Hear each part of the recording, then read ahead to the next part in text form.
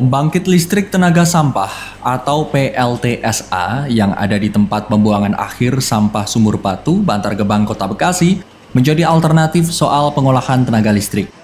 Beragam sampah didaur ulang untuk dimusnahkan sehingga bisa menghasilkan pembakaran uap panas yang selanjutnya diubah oleh mesin turbin ramah lingkungan sampai akhirnya bisa menghasilkan aliran tenaga listrik.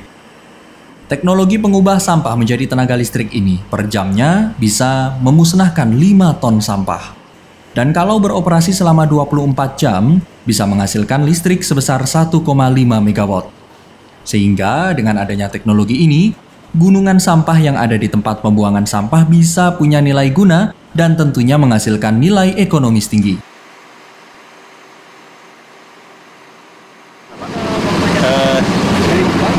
Ini adalah areal uh, PLTSA, di mana PLTSA ini merupakan uh, konversi energi dari sampah untuk menjadi listrik.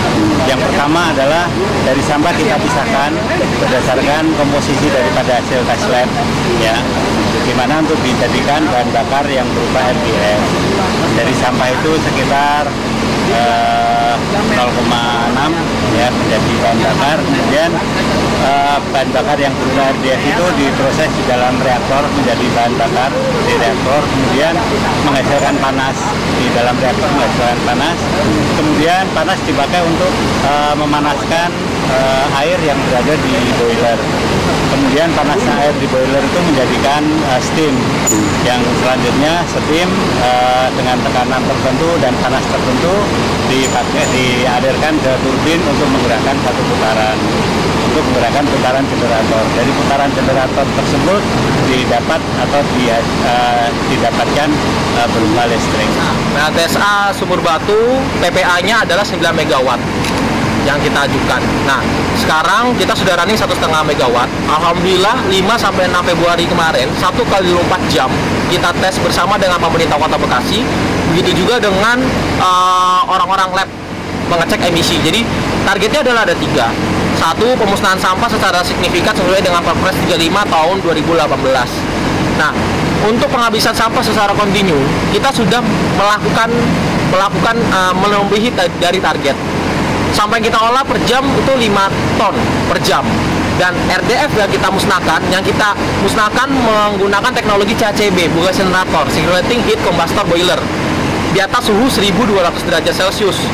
Itu sejam yang tadi targetnya RDF yang kita musnahkan 2 ton 2,02 ton. Sekarang kita bisa musnahkan dengan uh, total sejam 3,3 ton jadi melebihi target. Lalu suhu yang tadinya target 1200 ternyata kemarin 1323 dan berdasarkan uh, hasil lab hasil uji lab kita memenuhi standar permen KHK nomor 70 jadi dua target antara musnahkan secara signifikan dan juga ramah lingkungan sudah tercapai Sementara itu, dengan kemampuan operasional selama 24 jam, diperkirakan PLTSA Sumur Batu ini bisa menghasilkan listrik sebesar 9 MW. Dan kalau ada jalinan kerjasama dengan PLN, tentu bisa dipakai untuk mengaliri listrik ke ribuan kepala rumah tangga di sekitar kawasan Bantar Gebang. Amarullah Badar TV Bekasi